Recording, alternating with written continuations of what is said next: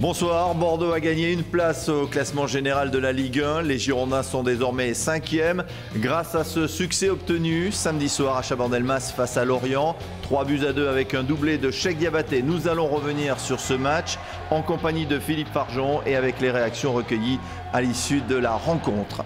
Également au sommaire de ce clubhouse, Sofian Vala. Il a marqué deux buts lors de la belle victoire en Coupe d'Aquitaine de la réserve des Girondins de Bordeaux. Un succès 3 à 0. Il viendra nous parler de sa carrière qui va peut-être évoluer au sein du club bordelais.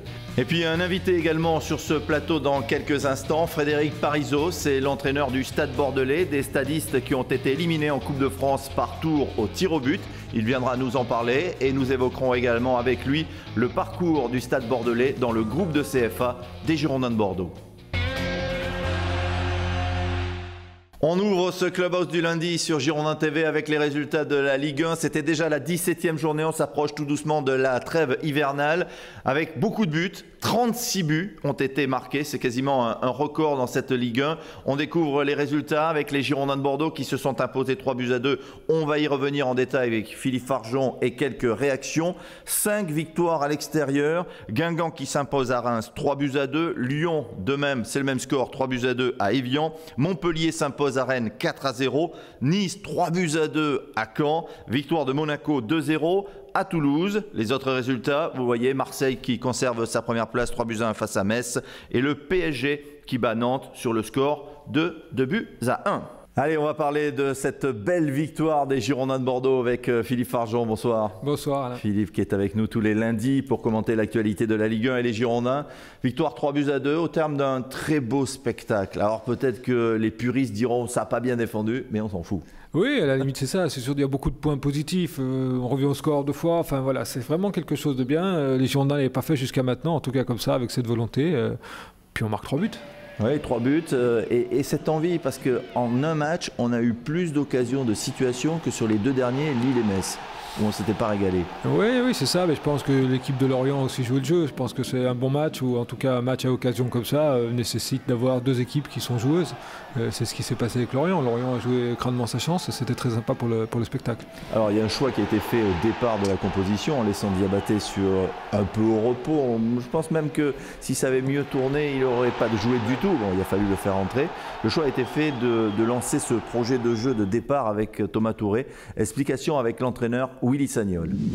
Aujourd'hui, on avait un projet de jeu qui était voilà avec Thomas Touré de, beaucoup jouer sur la profondeur, de beaucoup tirer euh, la défense centrale vers le bas, de l'user pour euh, bah, pour faire bénéficier euh, les autres de ce travail-là. Il m'avait étonné mercredi par par sa prestation insuffisante et il m'a étonné ce soir par sa prestation très satisfaisante. c'est un joueur professionnel, il a 21 ans, pourquoi il ne pourrait pas jouer 90 euh, minutes? Il a de l'envie, il, a encore du déchet parce qu'il prend, il est toujours à la limite euh, dans ses prises de risques. Et, mais le staff, on, on accepte ces limites-là, on accepte que parfois Thomas euh, plonge un peu parce que c'est encore un jeune joueur. L'année dernière, il a fait 20 minutes sur toute la saison. Là, il enchaîne les matchs. Il va quand même, je pense, y avoir une petite semaine. Euh, il n'y a pas de match dans la semaine, ça va lui faire beaucoup de bien.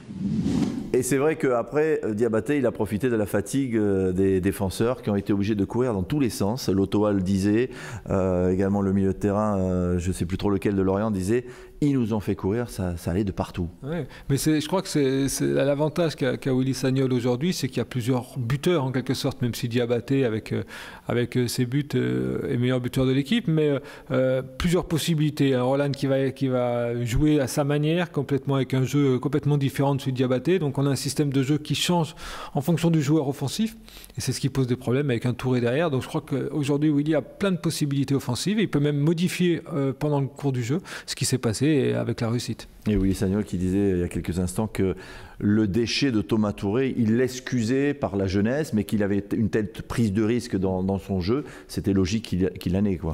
exactement, quand on voit, on revient sur Bordeaux-Lille, quand on me disait la dernière fois 85% de passes réussies, ça veut dire qu'il n'y a eu aucune, aucune prise de risque. Aujourd'hui, quand un joueur perd beaucoup de ballons, mais prend des risques, on demande, on demande ça, parce qu'il suffit que ça passe une fois, on voit la différence, et puis après, à l'arrivée, ça peut être quelque chose d'intéressant, et surtout un match plaisant.